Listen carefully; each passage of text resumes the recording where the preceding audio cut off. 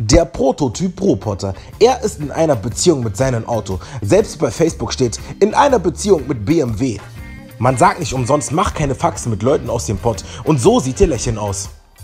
Und wenn sie reden, hört sich so an. Dat. Was?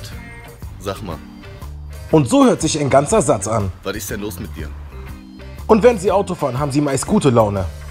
Gehört die Straße deinem Vater? Wenn der Roboter in seinem Bezirk rumläuft, läuft er wie ein Türsteher in Zeitlupe, eine Mischung aus Leonidas und Son Goku.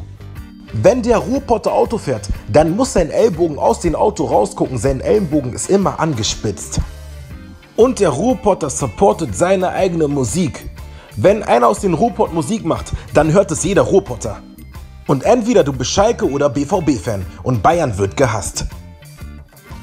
Schalke wird BVB das nächste Mal 5-0 hochnehmen. Junge, chill mal deine Eier, die werden verlieren, Alter. Und wenn du nicht aus dem Pott kommst und mit deinem Roboter redest, kann es sein, dass du ihn falsch verstehst. Krass, Alter, ich bin komplett gestresst hier im Laden, Alter. Was denn für ein Laden? Junge, den Laden hier, Alter. Dann sag doch Auto, Mann. Ist doch kein Laden, Mann. Oder kann man hier einkaufen? Warum sind die so aggressiv, die aus dem Ruhrpott, Mann? Sie sind nicht aggressiv, sie sind nur direkt. Provoziere sie einfach nicht. Roboter sind die herzlichsten Menschen. Was ist das denn, der Berry? Mensch, Eugen, komm mal her, Mann. Und was essen die Leute aus dem Pott am liebsten? Pommes Currywurst rot-weiß.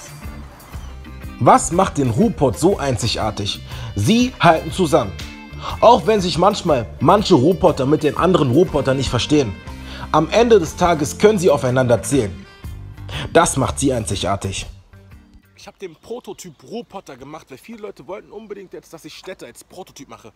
Auf welche Stadt hättet ihr als nächstes Lust, Leute? Ich war hier unterwegs, deswegen dachte ich, ich mache mal den Roboter, wenn ich schon mit Roboter-Jungs bin. Deswegen einfach kommentieren, Leute, und ich bin gespannt, worauf ihr als nächstes Lust habt. Peace, Leute, macht's gut.